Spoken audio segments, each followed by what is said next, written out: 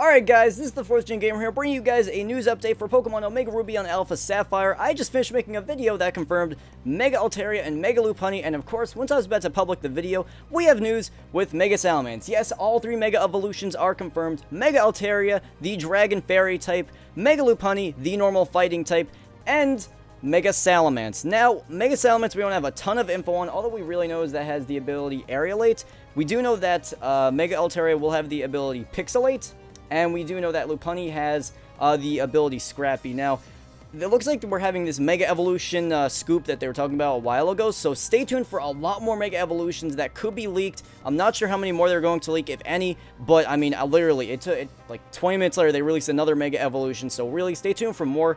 But um, you see Mega Altaria, it's kind of like a little bit different looking with, uh, pretty much it's really similar, just a lot more clouds and mist around it, and that's really the main difference.